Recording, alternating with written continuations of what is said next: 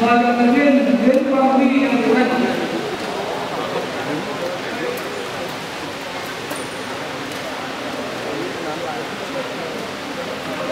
Trận đấu vào cân 48 kg giữa Trần Văn Hiệp và Nghệ An Quốc Đỏ gặp Hoàng Đồng Hải và Thái Nguyên.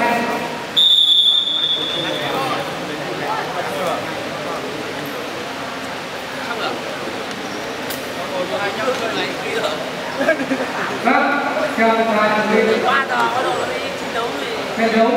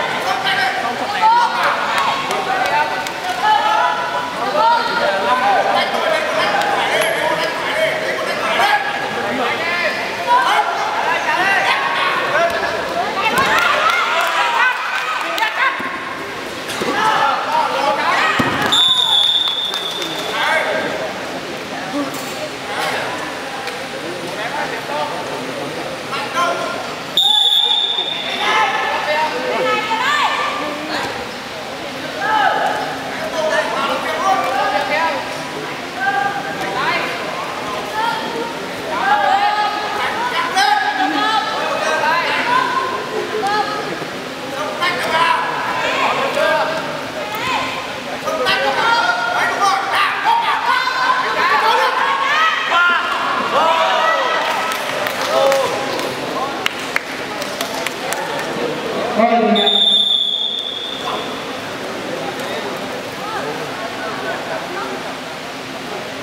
Trận cái với phần thắng đối thủ viên Thảm Đỏ và Nghệ An